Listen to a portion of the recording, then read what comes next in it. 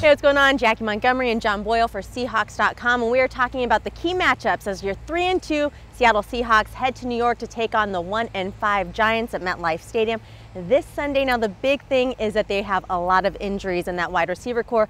Brandon Marshall and Odell Beckham Jr. gone. What adjustments will they make to take on the Seahawks? Well, what we saw last week was them leaning very heavily on the rookie tight end, Evan Engram. They had a lot more two tight end sets than they would have with their healthy receivers, and Engram was the recipient of most of Eli Manning's passes. He had five receptions for 82 yards, far and away led the team in receiving. Great athlete, very fast, going to be a tough matchup for the Seahawks defense to just keep up with him and keep him in check.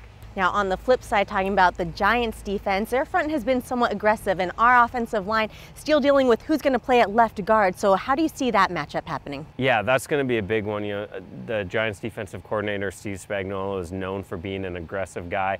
Last week, Jason Pierre Paul, he had three of his four and a half sacks this season, all came in one game. They had four sacks as a team. It looks like their defense is really kind of finding its way, and they'll, they'll bring pressure from all over. So, as you said, you know, some changes at left guard with Luke Joeckel out. We're probably going to see a little bit of Mark Glowinski and Ethan Pocic. How, how the Seahawks line comes together and picks up that pressure is going to be really important for the offense.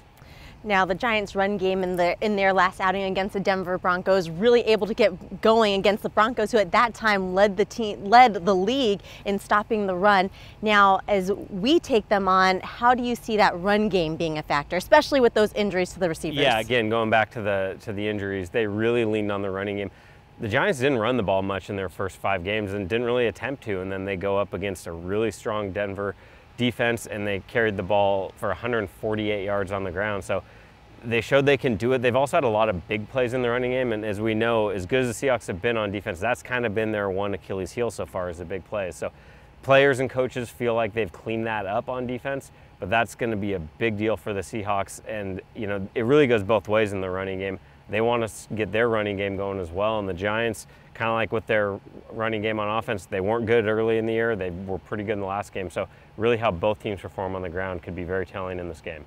All right, well, the Seahawks coming off of their bye week, looking to pick up where they left off and looking for another win on the road. Kickoff is set for 125 Pacific, and you can watch it live on CBS or, of course, listen to it on the Seahawks Radio Network.